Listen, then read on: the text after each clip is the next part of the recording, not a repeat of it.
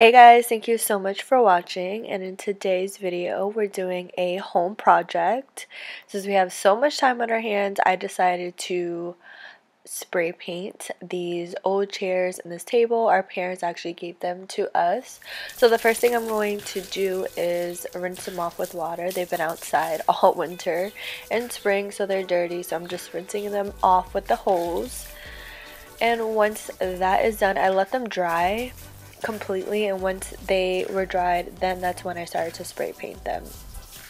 I'm going to lay out a tarp that we had in the backyard and just lay everything on there just because I didn't want that paint to get on the cement that we have and I also didn't want the paint to get on the grass. So that is why I'm doing that. Then I'm going to lay each chair on the tarp and then start spray painting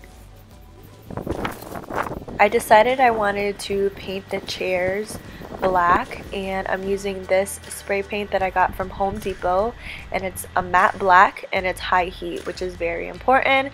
Because it's black and it attracts the heat a little bit more I got the high heat so that way the spray paint doesn't chip off of the chairs during the summertime. So just keep that in mind. First I start spray painting the top which I learned later that it was better to spray the bottom of the chair first because all that excess paint stays at the top of the chair. So if you start with the bottom first and then go in with the top, the top is like more flawless. And you know, no one really sees the bottom of the chair, so it doesn't have to be perfect. So I definitely suggest that.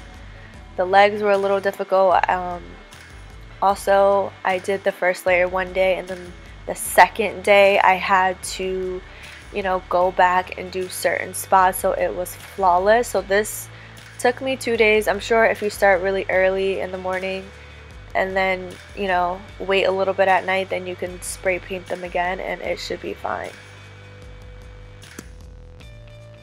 Also, another piece of advice is definitely buy double the spray paint that you think you need. I bought two thinking that would be enough and that definitely wasn't enough. I had to basically get one bottle of spray paint for each chair.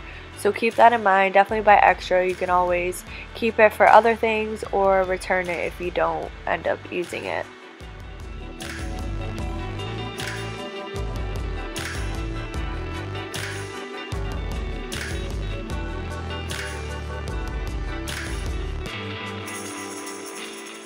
Okay, so moving along, Miguel started to paint our table and I wanted it also to be a black, but we actually got exterior black paint and he has a spray gun and he did the table. The table was much easier and faster for him to do with the spray gun. So if you do have a spray gun, definitely use that because it just will be so much quicker. And if you get exterior paint, it will definitely last a long time and it won't chip because the table has been out there for days and nothing has happened. So yeah. Okay, and now we're moving on to the bigger chairs. I'm using this paint also from Home Depot and it was a gray satin shade. Also, we had these paint pots my parents just randomly dropped off the other day because they bought new ones and they're like oh do you want our old ones and i'm like yeah perfect we'll just spray paint them black actually ended up getting some white flowers to put in. Our house is gray and black, so it just goes hand in hand. Miguel sprays that with the paint gun as well, and I'm just in the background painting those orange chairs to gray. Also, a tip if you see on my spray can, I have like this little like gadget on top. It's like a handle that you can buy separately. I definitely recommend to get that because with the black chairs I didn't use that and my fingers and hands were literally cramping because the little nozzle is so small. So it's like five or six dollars for that handle and it's so much more comfortable especially if you're spray painting a lot of items.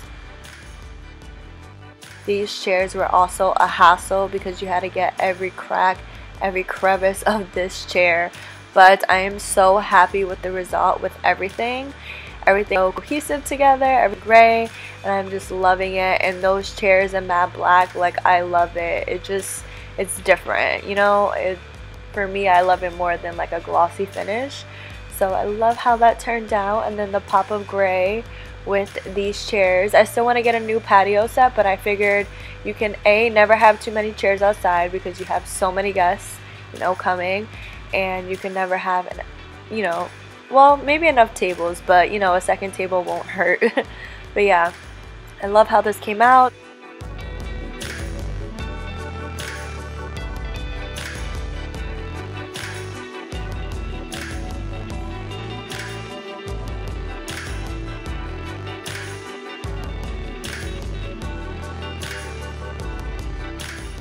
and this is how the flower pots came out.